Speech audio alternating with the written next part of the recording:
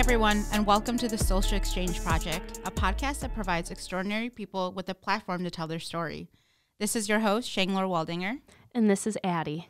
And today's guest is the owner of Harp Entertainment and Healing, a professional harpist and music therapist, and most importantly, a friend who just recently celebrated a birthday. So, welcome, Sarah Ohr. Thank you. so, just to dive right in, um, I know in past conversations you started out with the piano at a very young age. I think it was seven.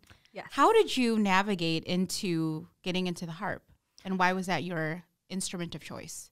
So, uh, so yeah, so I started playing piano when I was seven. Um, my mom tells me I asked to take lessons. There was no like prompting, like asking me if I wanted to play an instrument, um, and so I just chose piano, I guess. Uh, so I took lessons seven through college, about like 23, 24. Um, and then also I played the viola fifth grade through about high school and then off and on throughout college. Do you still play the piano or the viola? Um, not really. I chose viola. I didn't choose viola necessarily. So my mom, I wanted to play violin. Sure. And my mom didn't want to hear me practice violin because it's very like screechy and sounds like cats are dying. Like it's not the prettiest Not sound in my house. until you're like a professional and you know how to play in tune. And she wanted me to play the cello, and I didn't want to play the cello because it was like, you know, a big instrument. Um, and I was small, obviously. so uh, we agreed on. And the harp's not small, you guys. I The know. harp's- It's an interesting point for you to be like, it was so big, and then you come lugging in something taller than you. I know. And then uh, I we agreed on the viola since it's like a little bit deeper than the violin and Sure. not as huge as the cello. so how did that transition to the harp? Um, so when I was in school, I went to school for music therapy, and so through that program, you have to learn every single instrument. Um, so like all the wind, woodwind instruments, guitar, stringed instruments, brass instruments, um, and so harp was just one of the ones that was like highly recommended. Like it wasn't, you didn't have to take it, um, but I decided to take a semester, and so then I took a semester of harp. Can I ask you, how did you choose your major and why was it important for you to have music incorporated with therapy? Because there is a helping component to that. So, how did you come about choosing your major? So originally, when I went to college, I was 18, and I originally went to Beloit College, and I was going to be a piano performance major. Um, and then I left Beloit, and when I was trying to figure out what I wanted to do next, um, I wanted to do music therapy. I think partially just because I was good at instruments, I guess, and then also it was like more practical. So my mom didn't want me to do another performance major because you don't really make much money unless you're like a fucking child prodigy or something, which at 18 obviously I'm not. Um, and so I decided to go down like a more practical route. Originally, I was born in Daegu, I want to say, which is in South Korea. Um, uh, and I was born either late, uh, the 25th of December, or very early on the 26th. You don't know your actual birthday. There's no record of like when I was born. Sure. I, I, I assume I wasn't born in a hospital. So there's no like record of when I was born. Um, and so my, I guess my, my mom didn't think, she didn't want me. And so I was placed on a doorstep uh, for bay, in a bay colored blanket. And then somebody found me, I guess. and then um, they looked for like relatives or someone to claim me, and no one claimed me.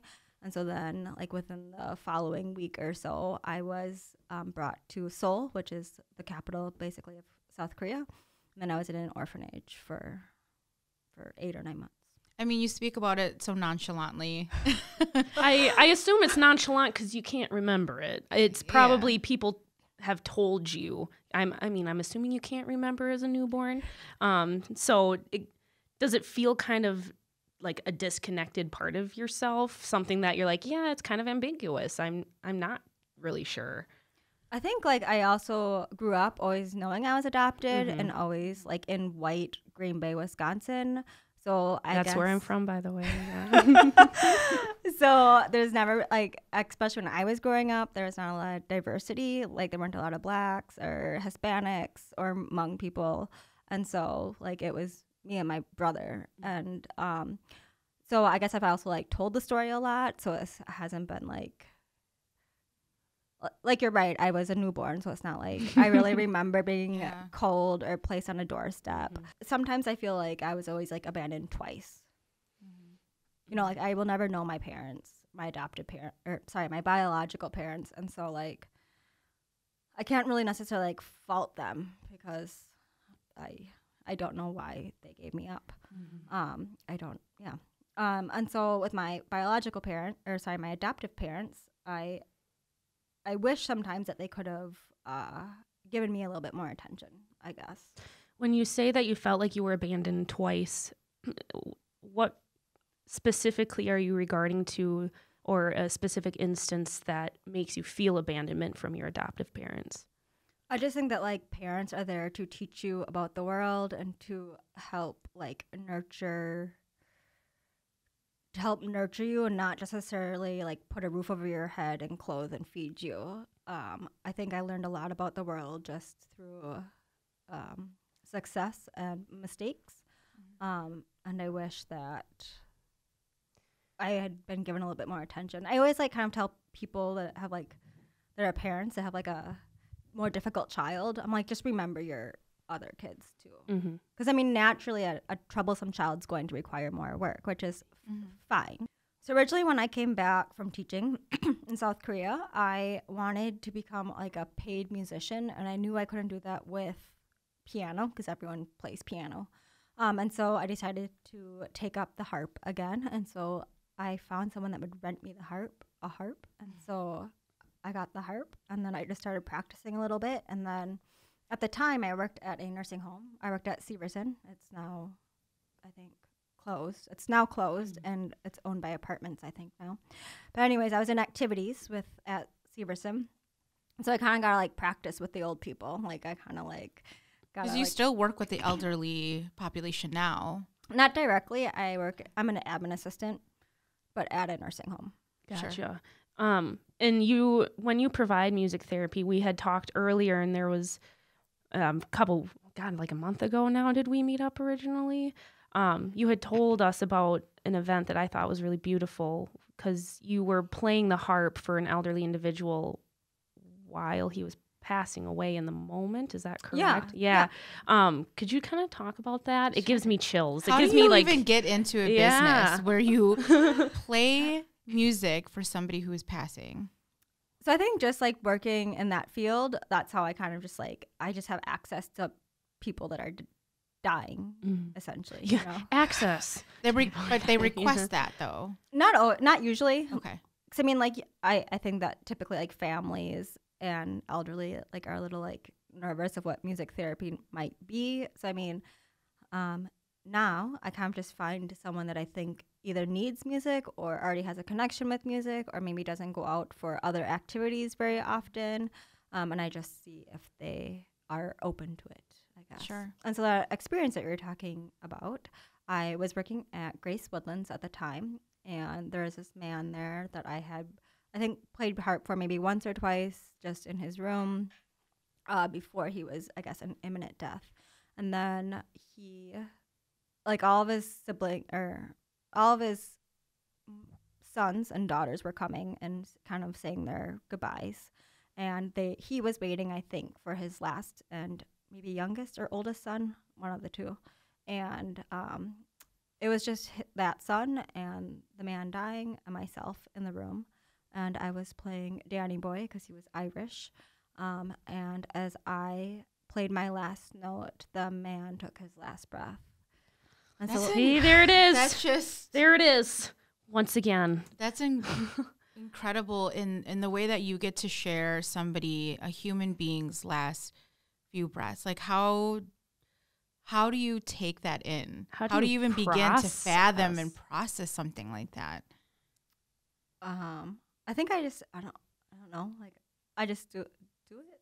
I don't know if I have a really good answer for that. I mean, I just enjoy like being Like a, what goes through your head when something like that is happening? I kind of think it as like not like a blessing, but I'm glad that I could be there in some way for both the person passing and the family. I mean, I don't like oh, that doesn't happen that often that I'm playing as like they're dying.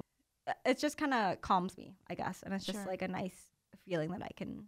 That would be so transitional and so provide that. beautifully transitional. I don't think I'll ever witness something like that in my life. Um, so I thank you for telling that story. I really, really like that story.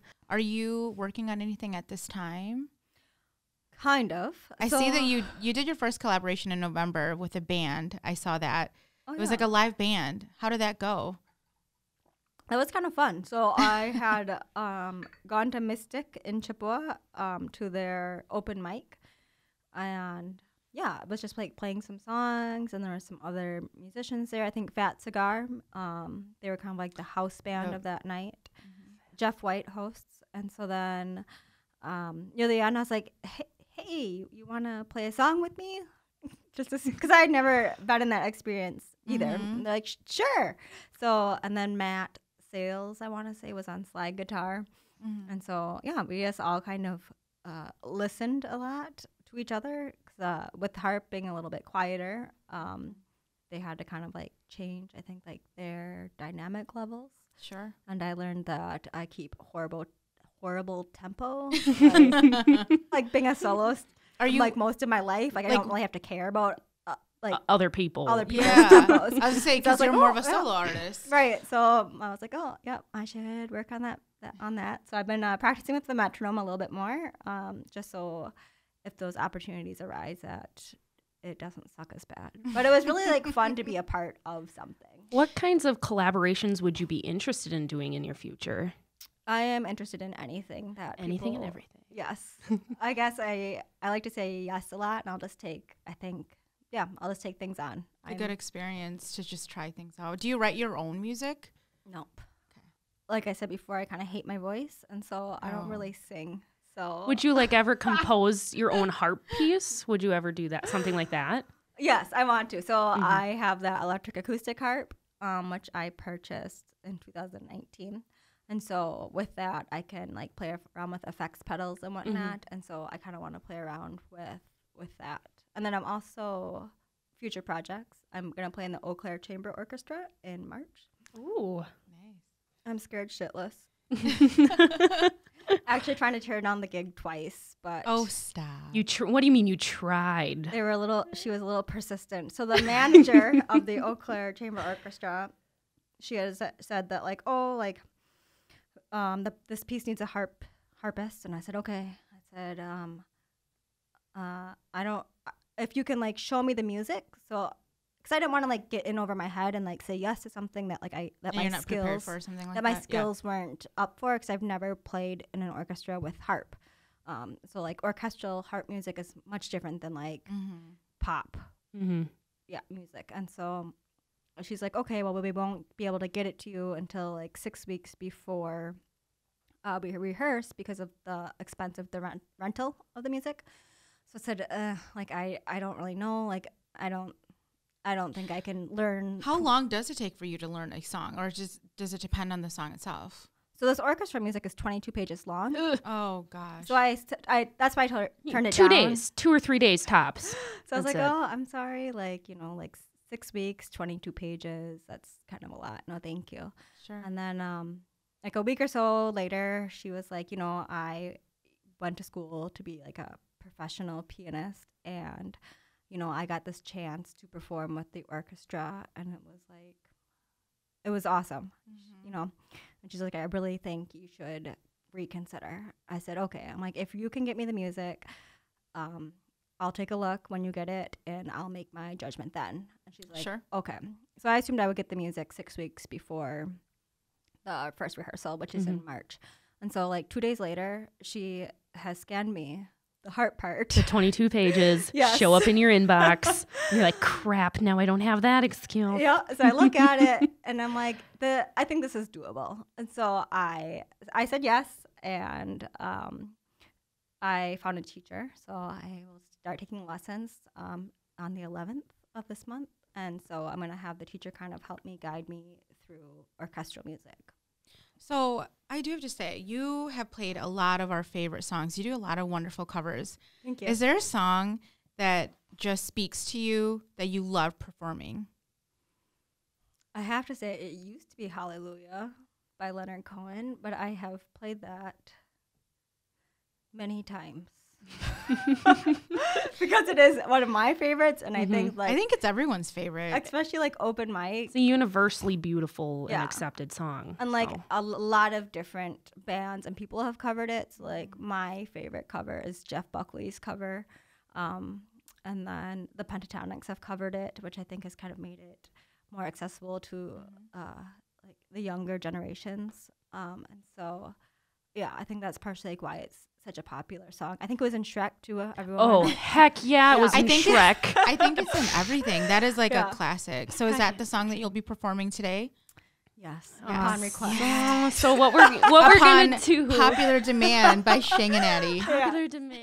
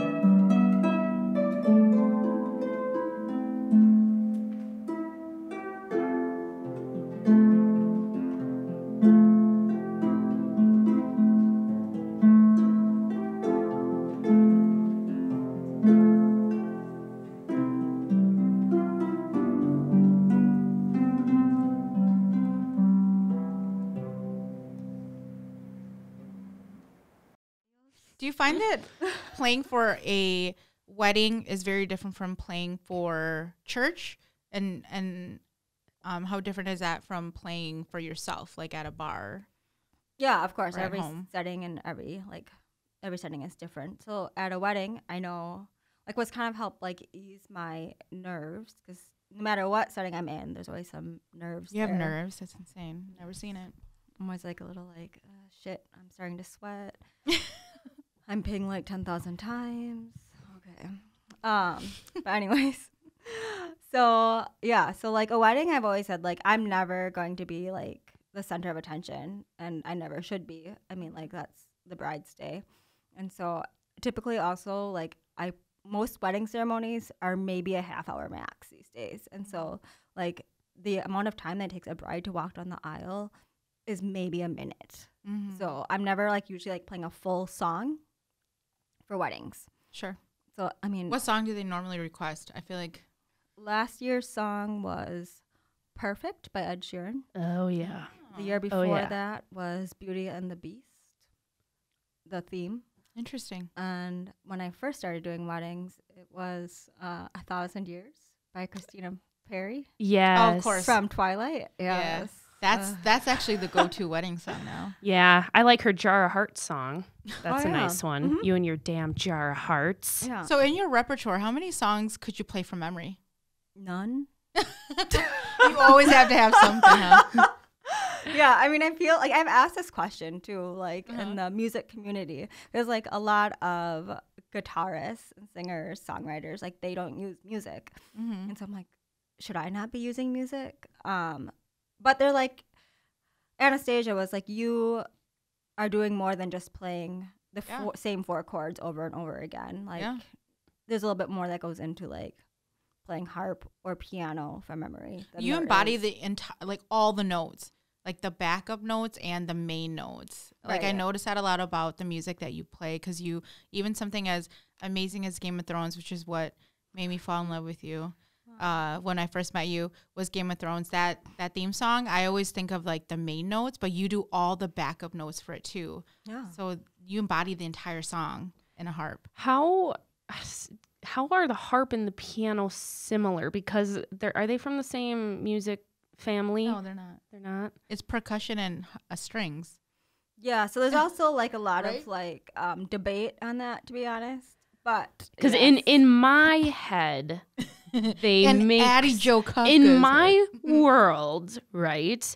They go together. They're they're cons- in my head they're constructed the same. Now you are professional at both, so piano is a Screw percussion, me. isn't it? but yes, it is a percussion. Yeah. so because I guess in my head it's the combination of of chords and then the combination of keys. Is it comparable at all? Like, did playing piano first help you be a better harp player? I think like for sure. So I mean, having like essentially 18 years of playing piano, I think it gave me a good base to learn, you know, any instrument. But with piano, I mean, harp music is essentially piano music. Interesting. Oh, In what way? Interesting. That's weird that you're confirming Addie right now because her ego just grows and grows. My ego is now through the roof. It was just it was it was tickling the she can't ceiling get out of this room now. I know so I can my play like, head. any piece of harp music on the piano. so they're transferable, if that's the right word. Like, um, I don't know if that's the right word. No. it's not. I, I can tell you right now, it's not the right word. But they Um, are the same. So how are they the same? interchangeable. So they use the same clef. So they both use bass and treble clef. Um, typically, my piano pieces, since my fingers, because of my training, can like move much faster. Mm-hmm. Um, usually, th- a lot of that music was a little bit like more difficult in terms of like tempo and speed. Sure. Also, when you're playing the harp, depending on which harp, so pedal or lever, I own both. But um, you have to be changing pedals to change accidentals, so flats and sharps. So you have to be like moving your feet um, when you're playing. And I'm just not as good at that at the harp yet because I've only had that harp for a year. Um, so Do you do you still play piano? no, Do you want to? not really. Do you think that desire might ever come back? So there's like one piece um, that has never been performed, but I fell in love with when I was at Beloit College. Um, it's like this Beethoven sonata. It's very fast. It's in F minor, and there are just like these beautiful melodies within it.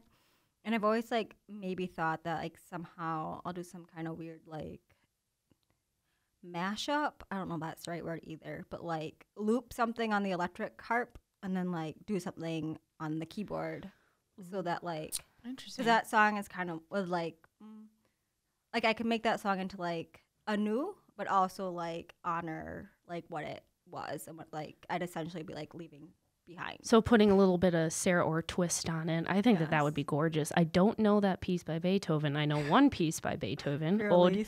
Ode to Joy. Even worse. Yes, I know it because of the recorder from fourth grade.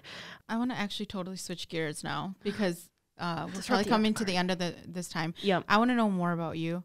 Is there anything else that you do, hobbies or passions that you do aside from music and and the harp that you work on, or anything kind of cool that we can all learn about you? Uh, So obviously, like harp takes a lot of my life, Yeah. as does my nine to five job. Um, I have a husband. That's kind of fun. We've been married for three Hashtag years. married. Uh, I'm not. coming up on our fourth in July. Um, I like to travel a lot. So when I was in Korea, I definitely got the travel bug um, with weddings and whatnot. I haven't like getting busier with weddings. I haven't been Mhm. able to travel as much. Where have you all traveled to? Tell us more about that. Uh, so I've traveled to Canada when I became a U.S. citizen in eighth grade, and then I, uh, when I was in Korea, I went to Thailand, Malaysia, Singapore, the DMZ, if you want to consider that. So North Korea. Um, You were in North Korea? yeah, I was on a DMZ tour. Okay, now I'm interested. Now I want to know Before about Kim Jong Un. Now, before we get into Thailand, which is one of my favorite places to travel to, um, Chiang Mai, Thailand. How did you? What was the? What was the security like for North Korea? So it's like super high. Uh, like so you get like a list of rules Mhm. um before y- so you have to like sign up with like a tour company. It's not like you can just like rent a vehicle and like drive to North Korea. Well, of course not.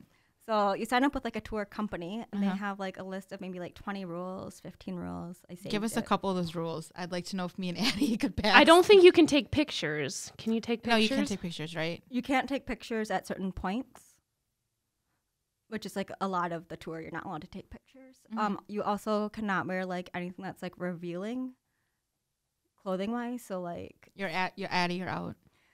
So like, I'm literally wearing basically pajamas today, but I'm out. um, so you don't like tempt the North Koreans, I guess, or like let them see. Oh, you skin. temptress. You also have to wear closed-toed shoes, and it specifically says that you can run in. So in case you need to run, you can run. Uh, yep. You're not. I'm fascinated. That's kind of like a weird. You should be signing a waiver if that's a rule, but you know, Um, they're saying it without saying it. you can't do any like obviously like hand motions, like no hellos, No gang gangs, no. right, Okay. nothing. Um, you're not allowed to be drunk. You're not allowed to be hungover when you show up. Like, How would they know?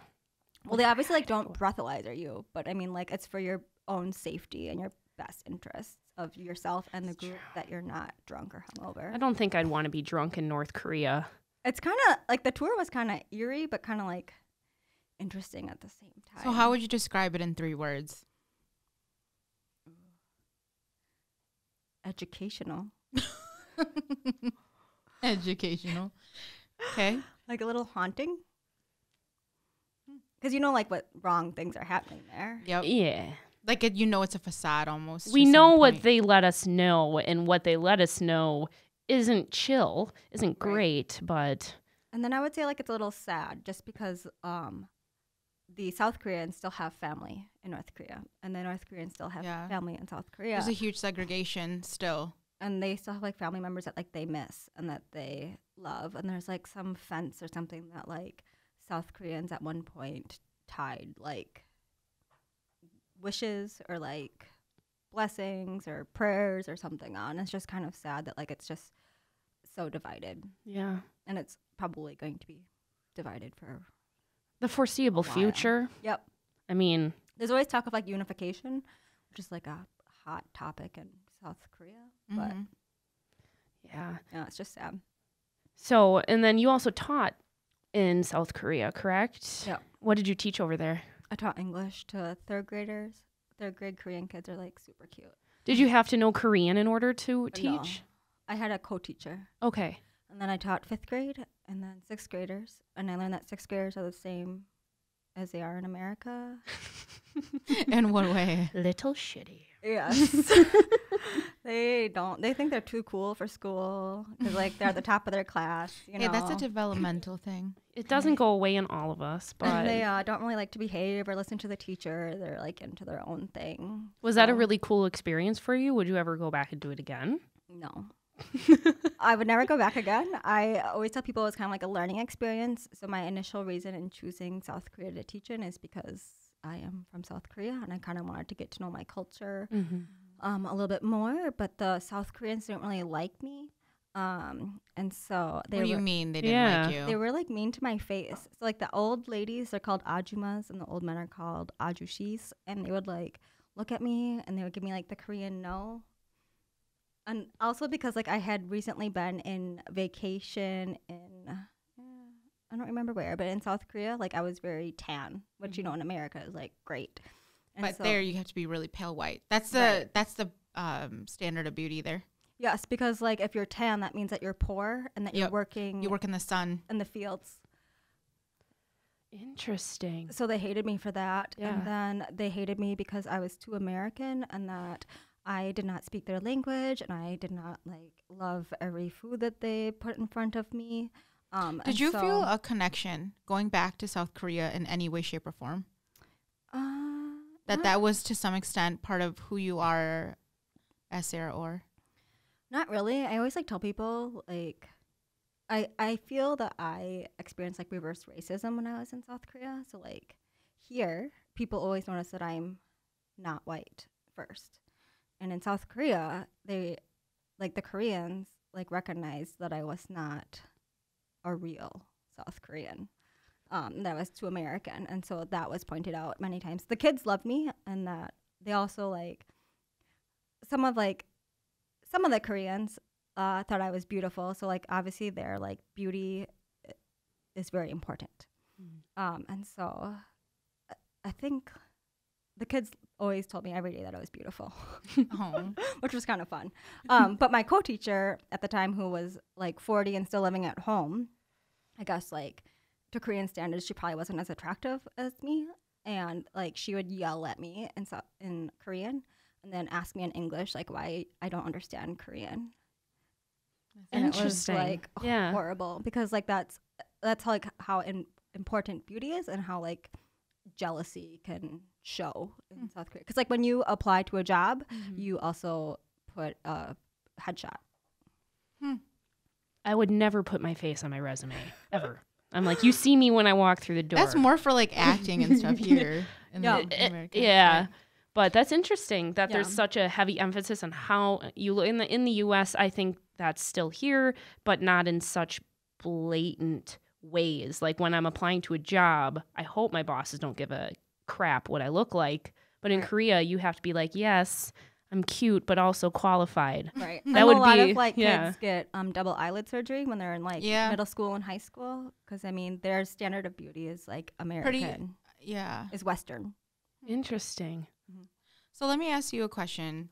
How important is it for you to understand where you came from? And is it also important for you to know who your biological parents are? So I'm kind of so my husband recently suggested again that I do a DNA test. He said like everyone's doing them all over the world. I originally had done bought one. It's like a swab and you send it in the mail, Yes. right? Yeah. Yes.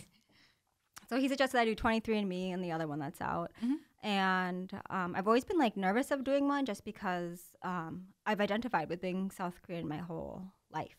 And even when I was in Korea, people told me that I didn't look like full Korean, that I didn't look Korean. And my husband thinks I look a little Chinese.